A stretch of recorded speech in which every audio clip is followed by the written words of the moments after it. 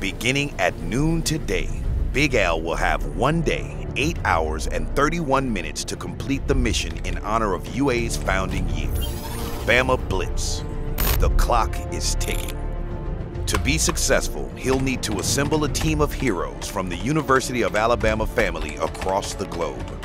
But most importantly, he needs you to use the power of giving. Calls on all areas of campus to assemble with a series of unique passion projects.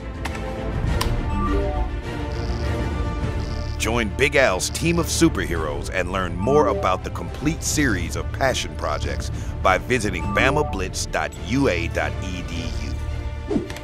Unleash the power of giving today and make a gift of any size to the UA cause, college, or program that is most meaningful to the superhero in you.